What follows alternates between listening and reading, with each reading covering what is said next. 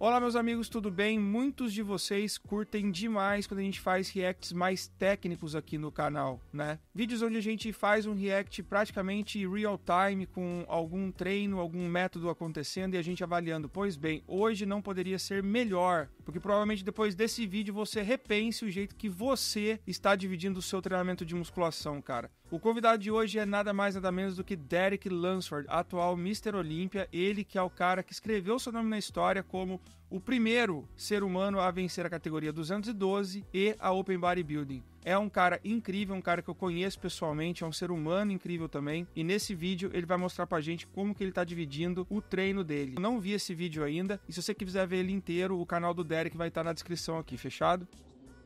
Ele começa aqui turbinando com seus suplementos, né? Essa academia é My40, academia de Tampa, onde eu já gravei. Eu gravei com o Pacho lá, com o Cariani.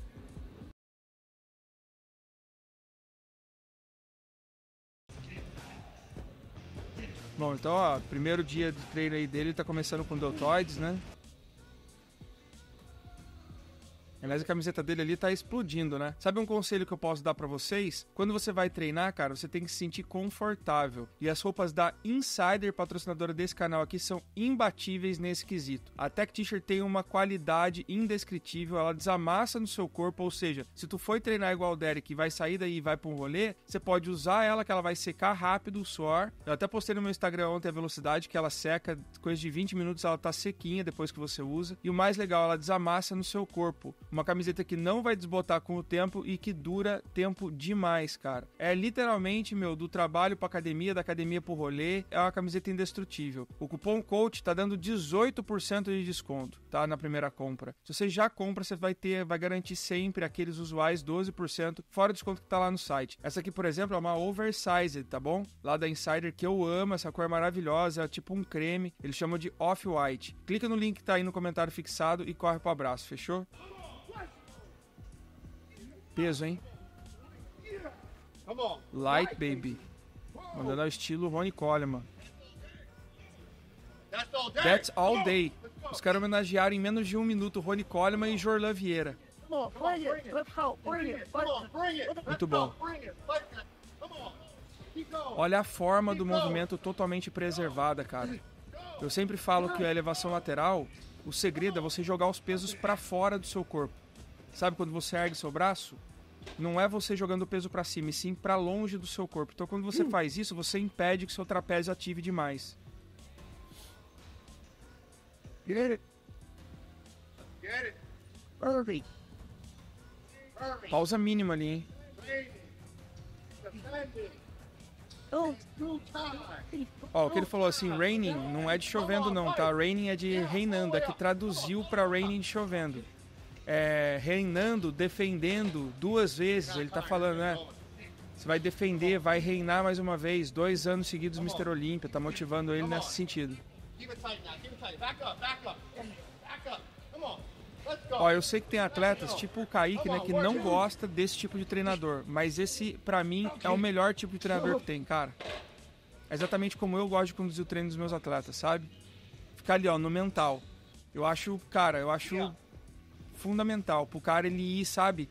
Ele ir idealizando, ele ir enxergando, ele ir vislumbrando o que tá por vir e tal. Ele, ele consegue conectar o músculo dele e, e tentar ser visionário ao mesmo tempo sobre o desafio que ele tá por seguir. Eu gosto desse estilo de, de treinador, cara. É, 15, 10, 12, 10, 12, 10. É, começar o treino de deltoides por elevações laterais, pô, Rubens, o ideal não é começar por uma pressão, como é o que ele está fazendo aí agora? Normalmente sim.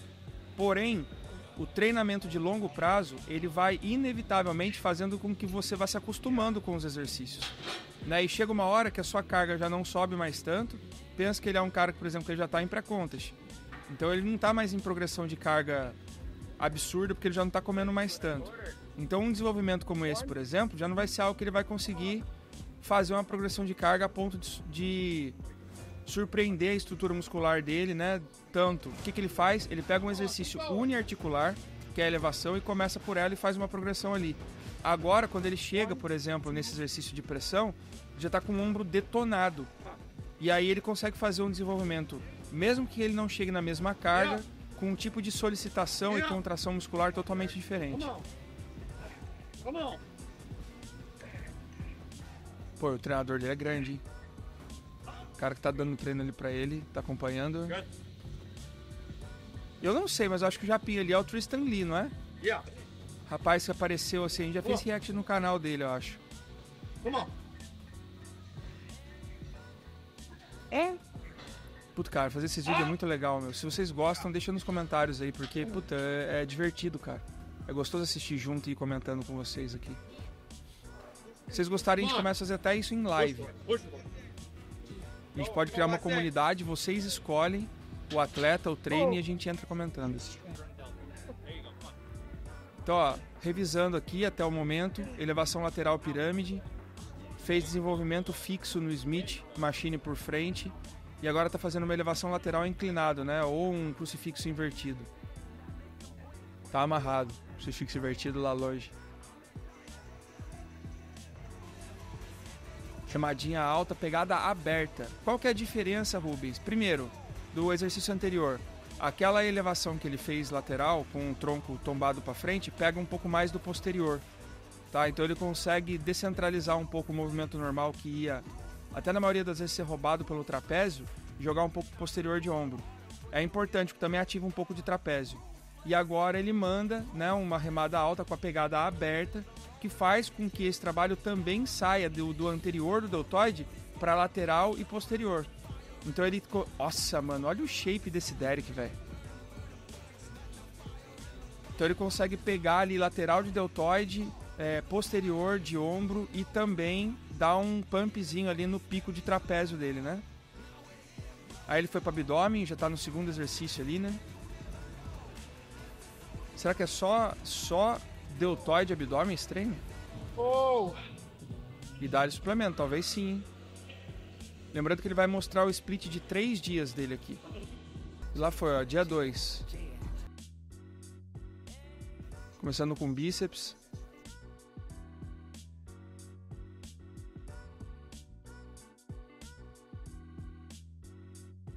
Essa rosca, ela é muito interessante, cara, porque primeiro, deslocar o braço à frente faz com que você garanta uma contração mais otimizada desde que você não fique balançando o braço, tá? Good. Então, contração de pico fica mais evidenciada quando você está com o braço à frente. Então, ele começa com esse banco aí inclinado em 45 graus, peito apoiado nele, lança os bra- braços lá para frente e ele fica numa posição parecida como essa, ó, da rosca Scott, porém sem apoio. E aí ele precisa ter muito controle para ele fazer a contração de pico. Isso vai pro braquial direto, pro bíceps braquial direto, que é a bolinha. Tá aquela bolinha do pico do bíceps?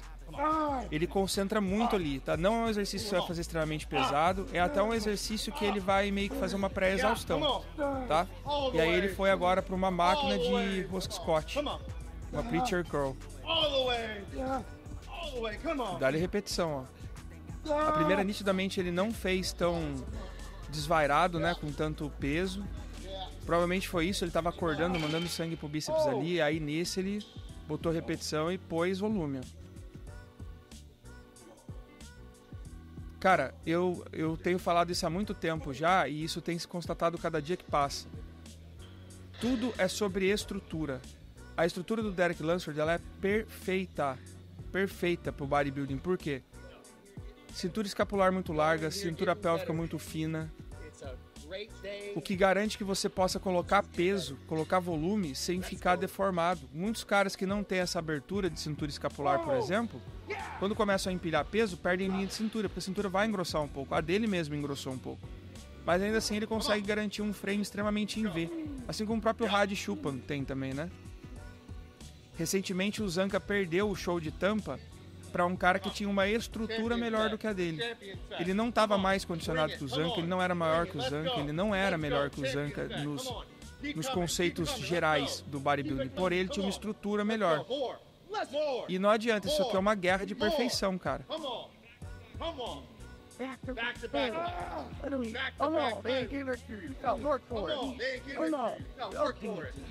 on. Whoa.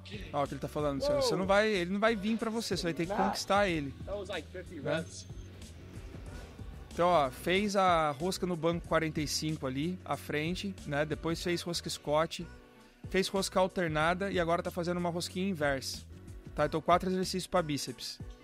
Por que da rosca inversa? Porque trabalha muito braquial, que é a musculatura que tem embaixo do seu bíceps, o que projeta o bíceps para cima, e trabalha bastante antebraço. E agora começou tríceps. No cabo mesmo, interessante, né? A maioria gosta de ir para trabalhos super pesados, com dumbbells, com barras, ele foi direto ali pro, pro pulley.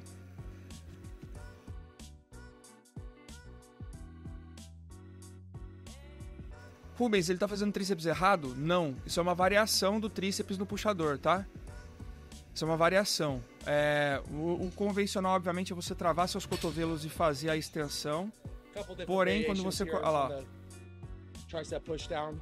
So, at first, I was coming here and kind of doing this motion in front of my head.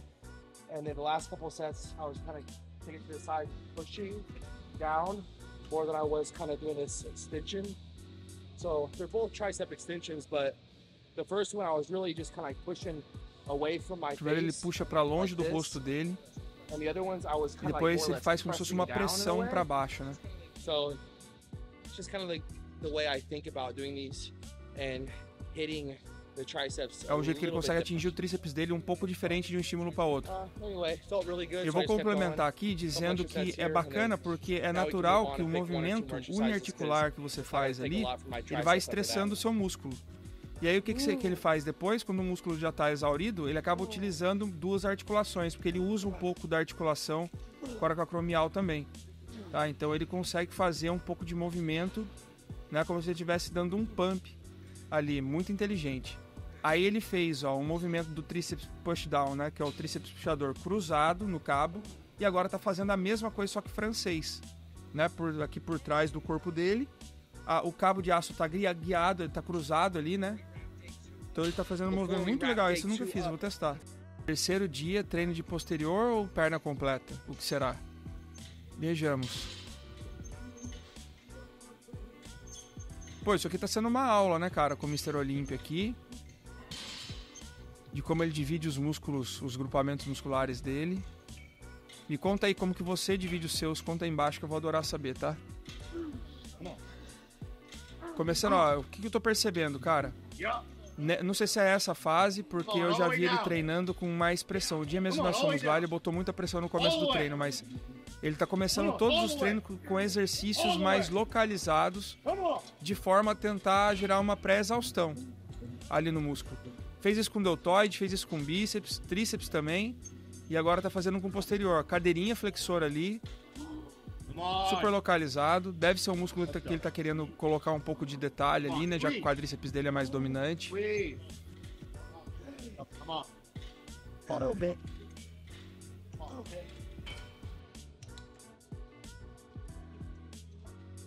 agora foi para a mesa.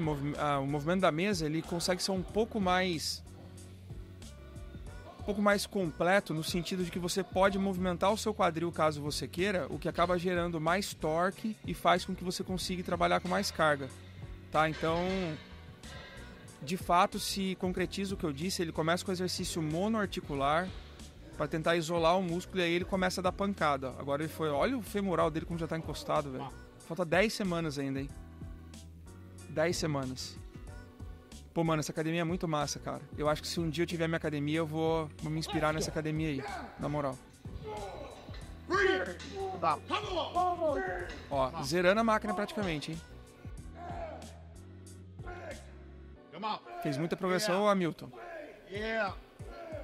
Você vai deitar aí?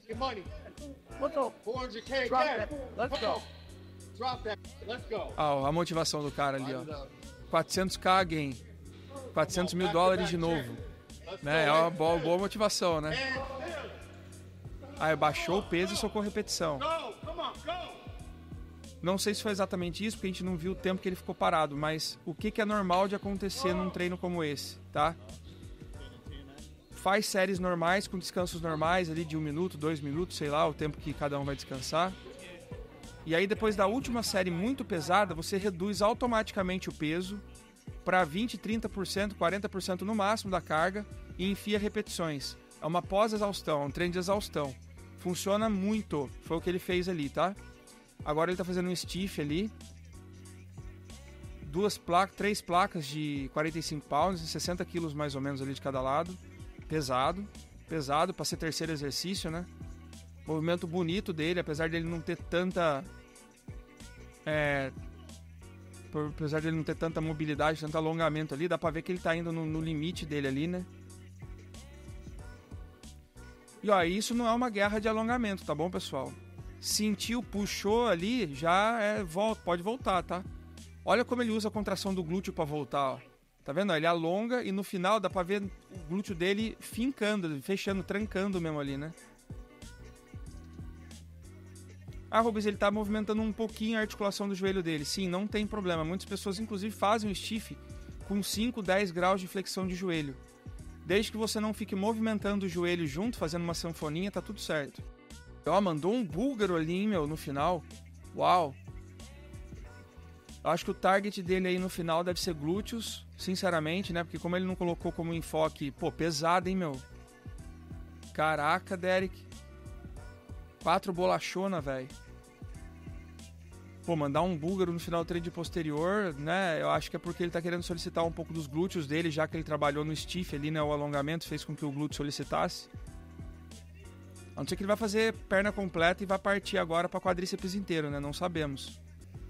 Ó, e ele vai fazer quadríceps, meu pessoal. Vai fazer quadríceps também, cara. Meu pai amado, mano. É um trem de perna completo, pelo visto, com foco em posterior. Será que ele tá descansando curto? Acho que ele tá descansando um pouquinho tempo, hein? Meteu até um paninho na cara ali, tipo, não quero ver. Não quero ver o que tá acontecendo, deixa só eu fazer. Olha esse quadríceps fincando, meu irmão. Uou, que guerra que vai ser esse Olímpia, cara. Tô muito ansioso. Ó, contagem regressiva e vai.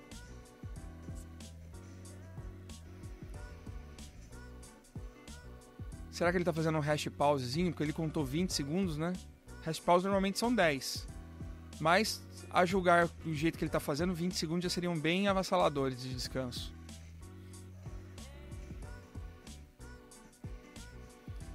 Rubens, o movimento dele tá perfeito? Tá perfeito para a proposta que ele tá fazendo, né? O tradicional é você deixar o joelho um pouco mais reto. Ele tá descansando acho que 30 segundos. É, 30 segundos ele tá fazendo. O normal é pé um pouco mais fechadinho e joelho na direção da ponta do pé. Porém, não sei se é por uma questão de tentar é, atingir um pouco mais os adutores ou se porque ele já treinou posterior, ele está querendo abrir um pouco mais as pernas para ter uma ação aumentada naquela região. Então ele lança os joelhos dele para fora e aí, obviamente, a ponta do pé acompanha. Ele fica bem no final ali daquela plataforma, né? Pessoal, essa é a mágica da musculação. Essa é a mágica da musculação. É você manipular os equipamentos os artefatos, os, os, os objetos de acordo com como você quer trabalhar o seu corpo. No final é isso, tá? É fazer o peso dos equipamentos trabalharem a seu favor e não o contrário. Não é, Hamilton? Vou mandar o adutorzinho. Realmente o movimento ali, ó, um pouco mais aberto no leg press, tentando já achar um pouquinho mais, né, da força ali no adutor, usando ele um pouco mais para para recrutar, para gerar força. Aí fez um adutor para dar um tapinha, agora tá fechando com panturrilha. Então, ó, split de 3 dias de treino de Derek Lansford. Nós vimos ombro completo com abdômen, vimos braço completo e agora perna praticamente completa, né? Começando com enfoque em posterior de coxas com panturrilhas. Tá bom essa panturrilha aí, não? Tá, né? Ó, de novo, galera, esse tipo de vídeo, pra mim, é diversão de fazer. Diversão. Aqui eu não tô nem trabalhando, cara. Aqui eu tô curtindo com vocês. Se vocês curtem, se chegou até aqui, vamos criar uma palavra só eu ver que vocês chegaram até aqui. Vamos colocar panturra. Mete a palavra panturra. Só pra eu saber que vocês chegaram até aqui no vídeo.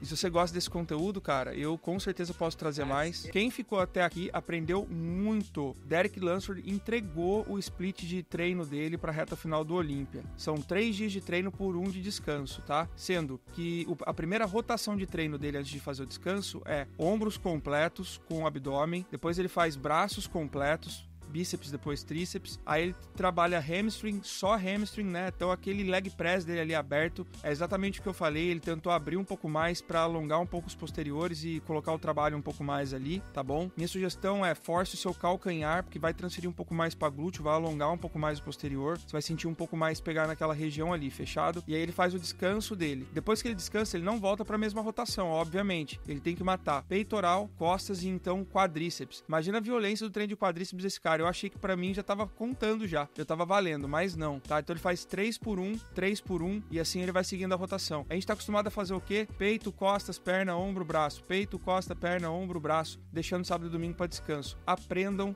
com Derek Lansford, atual Mr. Olímpia. E se você chegou até aqui, cara, muito obrigado. Como eu disse, esse vídeo é muito legal de eu fazer. Deixa aí se você curte ele também e confira, tá bom? Insider com 18% de desconto na primeira compra, cupom COACH no comentário aqui embaixo. Um abraço. Até o próximo vídeo.